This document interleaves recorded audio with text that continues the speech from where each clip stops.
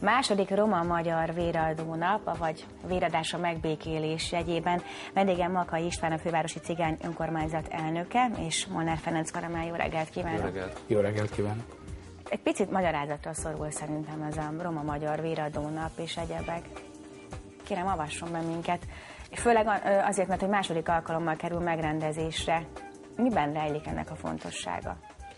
A fővárosi cigány önkormányzat idén második alkalommal rendezi meg a Roma Magyar Véradónapot. Ennek az üzenete nagyon egyszerű. A segítségnyújtás, az összetartozás, az összefogás érzésének az erősítését jól példázza az az együttműködés, amelyet a Vörös Keresztel alakítottunk ki, és valóságosan arról van szó, hogy nem csak beszélünk, hanem valamit nyújtunk is olyan emberek számára, akik segítségre szorulnak. Meggyőződésem, hogy ma Magyarországon nagyon sokan vannak azok, akik segítségre szorulnak, ki ilyen, ki olyan területen, de az egyik legfontosabb terület azt gondolom a véradás, hiszen emberéleteket mentetünk mindannyian, és ez a közös összefogás jól példázza azt, hogy az együttélés, az egymás mellett élés eh, békés példáját mutatjuk be, hiszen romák és nem romák egyaránt részt vesznek ezen a véradáson. Van a fővárosi cigány önkormányzatnak egy szlogenje, egy elmondat, amit mindig használunk, múltunk közös lesz a jövőben, és ez jól példázza ezt az összefogás és az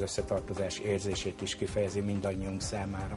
Hát talán a véradásnál sokkal nagyobb probléma, persze az is óriási nagy probléma, de a békés egymás mellett élés, amit említett.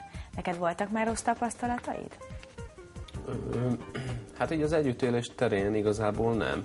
Találkoztam már ö, nem toleráns emberekkel, bár nekem ez a szó, hogy tolerancia, szoktunk erről a Pistával beszélgetni, hogy, hogy van-e értelme, vagy nincs. Én nem gondolom, hogy valakit azért tolerálni kellene, mert más. Mármint, hogy szükségre, a toleranciára van szükség az együttéléshez, azért, mert valaki más bőrszínű, vagy má, bármilyen más nációhoz tartozik. Szóval nekem ez a szó, hogy tolerancia, hiszen ő is egy ember. Nekem ez az agyamnak felfogadatlan egyébként ez a szó, hogy Szóval el kell viselni valakit azért, mert más, más a színe, és átmegy az út másik oldalán.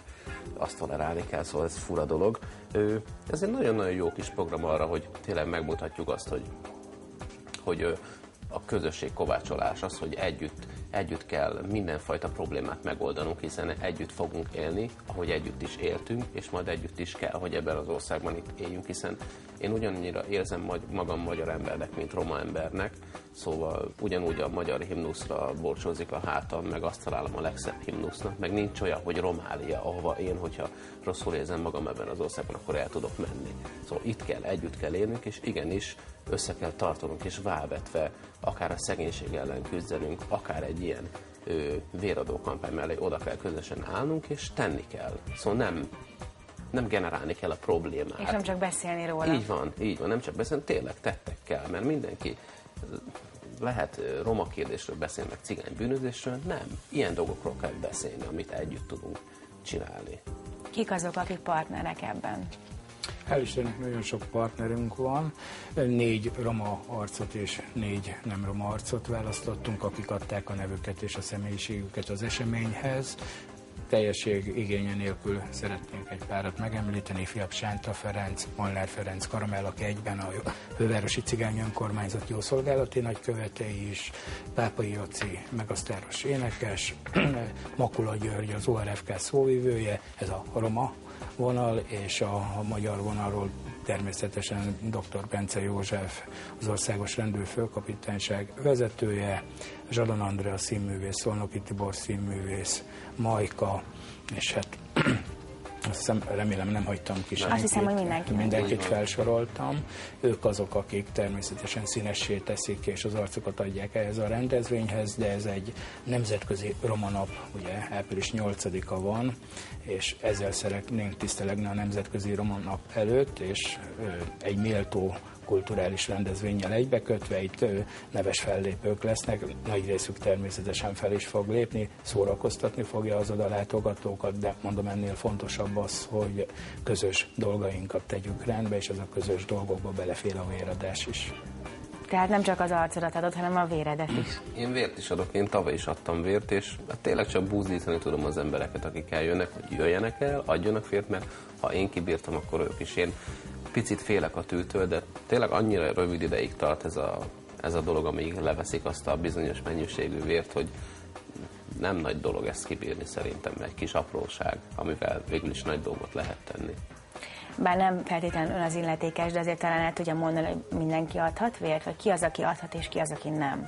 Természetesen alapdolgok szükségeltetnek, személyigazolvány, tajkártya, lakcímbejelentő kártya, ezeket arra kérem a kedves közönséget, illetve akik most nézik a tévét, hogy hozzák magukkal, és egy vizsgálaton fognak keresztül esni, és ha megfelelnek a vizsgálati eredményeknek, akkor természetesen adhatnak vért. Kizáró aki betegség, gyógyszer, stb. Ezek kizárók, de a Vörös Kereszt ott lesz, és pontosan meg tudja határozni. És jól tudom, 50 kiló alatt nem adhatnak. Még. Igen, ilyenek is vannak, de hát reményeim szerint azért vagyunk egy páran, akik 50 kiló fölött vagyunk, és uh, tudunk vért adni. Tavaly közel 100 embertől tudtak vért levenni, ez egy óriási eredmény, és én azt gondolom, hogy ezt tovább kell folytatni, és köszönet az Európa hajónak, hiszen ingyen bocsájtotta a fővárosi cigány önkormányzat rendelkezésére ezt a területet. Annyit még szeretnék elmondani, hogy mindenkit nagyon sok szeretettel várnánk Holnap reggel 10-től 15 óráig tart a véradás az Európa hajón, a Szilágyi Dezső téren, a Budai rakparton, de legegyszerűbb mondjuk a Batyányi tértől lesétálni a hajóhoz, és nagy szeretettel, tisztelettel várunk mindenkit, aki ebbe a közös e- e- összefogásba együttműködne velünk. Röviden még a programokba avassuk be a nézőket, egy kis kertcsináló gyanánt.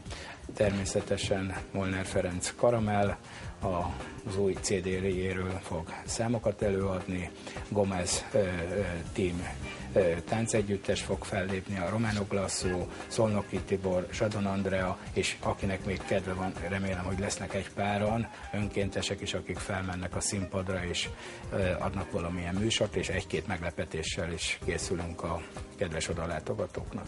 Köszönjük szépen, és Köszönjük. reméljük, hogy sokan elmennek. Köszönjük. Köszönjük.